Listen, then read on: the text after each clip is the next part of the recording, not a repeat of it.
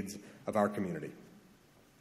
And now, um, a couple of words of thank you before we, um, before we have a chance to learn from Monsignor Rossi. Um, a note that uh, tonight's sermon and uh, the sermon that I'll be offering at St. Michael down the block and down the down the down the street in a couple of days is being made possible by the Lewis and Joan Lowenstein Foundation, which is part of the Lowenstein Lectures of the Anti-Defamation League, which are designed to promote Catholic-Jewish friendship and dialogue.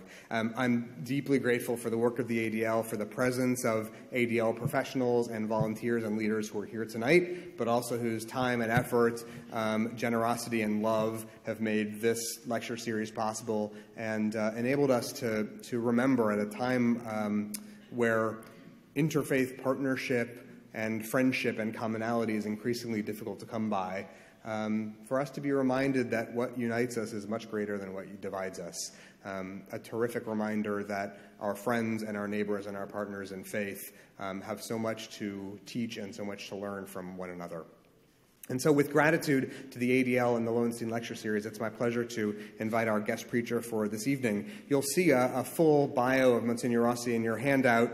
Um, I will let you read that on your own, and so I will just add to those words my own, um, with which I want to share with you my gratitude for his presence and for his new friendship that I, I, treasure so deeply as our two congregations draw together, and the two of us as clergy people um, who share a, a, mission of conscience in our community and in our world. It is, um, I will say, professionally and personally, so fulfilling to have started this relationship together and to know that the two of us um, can be together in this pulpit exchange this weekend. Um, a historical note that tonight's sermon and the sermon that I'll offer at St. Michael on Sunday come as Jews and Catholics all over the country and really all over the world recognize 50 years since the Catholic Church issued the document called Nostra Aetate, that, that groundbreaking, very, very important document issued by the Second Vatican Council. That landmark document repudiated anti Semitism and the charge that Jews were collectively guilty for the crucifixion of Jesus, um, a deeply important historical, ideological, theological, and communal landmark for both of our religious communities. So it is um, with historical gratitude and with deep personal thanksgiving for friendship and partnership that I invite our guest preacher for this evening, Monsignor Frank H. Rossi.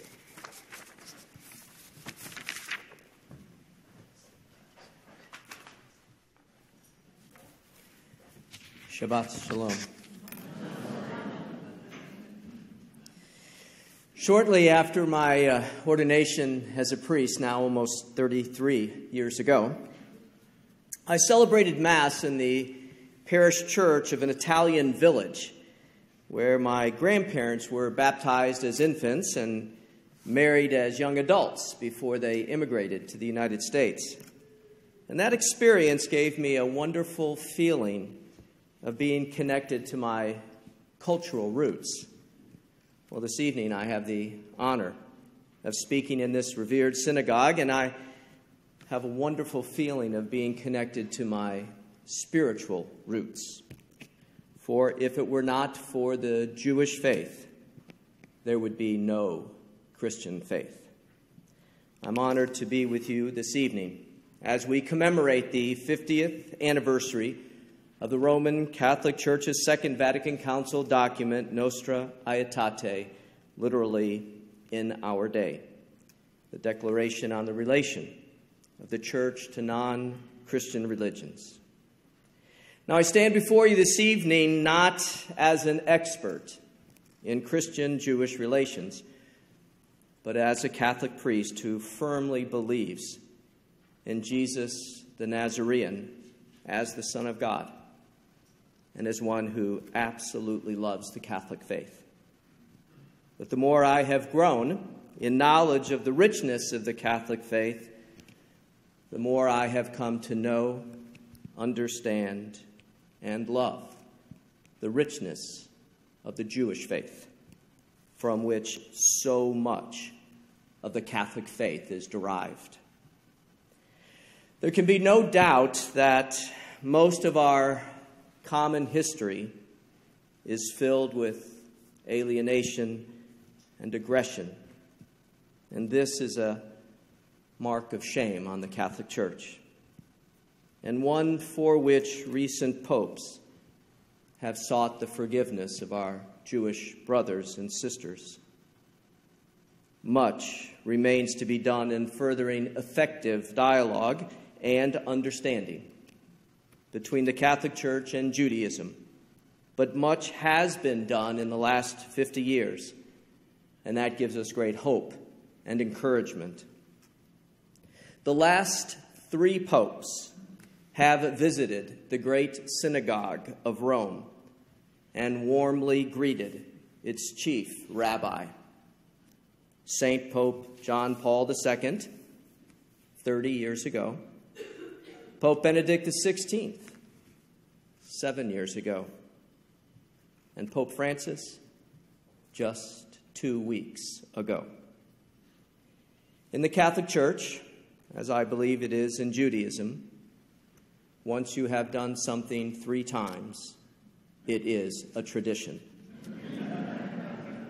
so, what a beautiful new tradition the Catholic Church now has that each pope, soon after his election to the chair of Peter, pays visit to his elder brother in the faith, the chief rabbi of the great synagogue of Rome. In the brief time that I have with you this evening, I wish to focus not on what divides or separates Jews and Catholics, but rather what unites us. I wish to share with you three essential theological tenets of Catholicism that have their origin in Jewish theology and without which there is no Catholic faith. The first, covenant. The Jewish scriptures speak clearly that the life of the people was built on an interpersonal relationship with God. It is a loving relationship. God loves his chosen people, and his people respond with love of God. This is stated most beautifully in the Shema, Deuteronomy 6 5, which we have prayed this evening. Love the Lord your God with all your heart, and with all your soul, and with all your strength. This relationship is deeply personal and deeply loving. This relationship is understood by the word covenant, a bond of love that unites God and his people. A covenant is always a, divine initiative and a human response. God gives his people a gift, like the promised land, and the people respond with their love by keeping the commandments of the Lord. And even when the people fail in their commitment, the Lord remains faithful to his. This covenant is the people of Israel, being God's chosen people, remains in force to this day. For God remains ever faithful to his pledge of love. For us Catholics, we hold that the covenant that God made with his people has found its fulfillment, not its completion, but its fulfillment in the person of Jesus the Christ. This bond of love is not a place like the Garden of Eden or the Promised Land, but a person. We believe that God is lovingly bonded to his people in the sacraments of the church, which Christ left for our salvation. Without the Jewish covenant, there is no Catholic faith. Second, ritual. The Jewish people of faith express their innermost feelings of this bond of love with God with what they considered the highest expression liturgical rituals. In these rituals, the people of God meet in prayer. Each ritual has its own blessed encounter with God, and each ritual achieves its effects. in the Jewish scriptures, there are many beautiful liturgical rituals. The Catholic Church is a church of ritual. We believe that in each of the seven sacraments of the church, Christ Himself is present to His people to achieve the particular grace bestowed through the sacrament's liturgy. The sacramental rituals of the Catholic Church find their origin in the Jewish liturgical rituals. Our Christian ritual of baptism, by which a person is reborn into the Christian family, has its genesis in the Jewish ablution rituals found in the book of Numbers. Our Catholic ritual of reconciliation, by which a person is freed of his or her sins, has its genesis in the penitential rituals found in the book of Jonah, Second Chronicles, Ezra, First Samuel, and of course, Leviticus.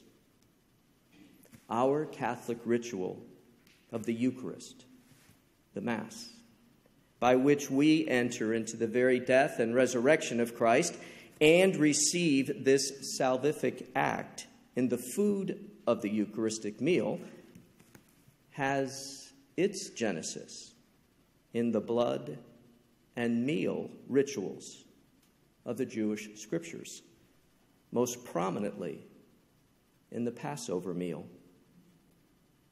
If you ever attend a Catholic Mass, you will recognize easily our Jewish roots. Our Mass is divided into two parts the liturgy of the Word and the liturgy of the Eucharist. Our liturgy of the Word is taken from the Shabbat service, what we celebrate here this evening.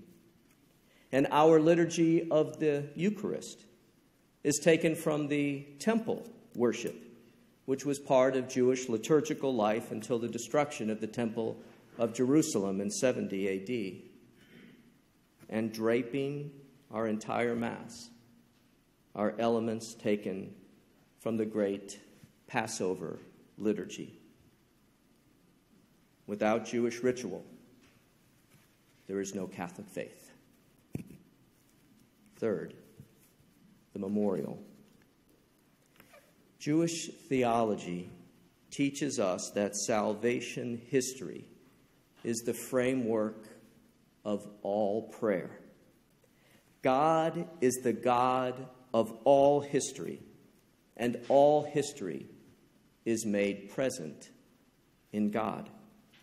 Hence, wherever God is, so is all of history. This sense of historical transcendence over history passes into people's worship as the great salvific acts of God in the past become actual in the midst of celebrating community worship when they gather in prayer. See, this is the original definition of the word remember. To remember is not to think about a past event, but rather it is a remembering, a bringing back into the community from the past what is being prayerfully recalled. This understanding of a memorial is central to the Catholic Church's teaching on the presence of Christ in the sacraments of His church. When we celebrate our faith as Catholics, it is not just a casual reflection on what Jesus did 2,000 years ago, but rather, it is the Lord Himself represented in our midst in the grace of the sacrament. For this reason, the Catholic Church believes in the real and abiding presence of Christ in the Eucharistic meal, not just a symbolic presence that is held by most Protestant Christian churches. You see, without the Jewish memorial, there is no Catholic faith. My dear brothers and sisters in God, we are united. We are on a common journey. You Jews are awaiting the coming of the Messiah. We, Christians are awaiting his return in glory. Both of us are a people of waiting, not a passive waiting where we lay back and do nothing, but an active waiting where we are living lives of fervent faith in anticipation of the blessed presence of God in His glory in our human history. As a Christian, my faith teaches me that I must be ready to meet the Lord when He comes, either at my death or at His return in glory. And I will be ready only if I am living well my Catholic faith. Your faith teaches you the very same thing you must be living well your Jewish faith in preparation for the coming of the Messiah.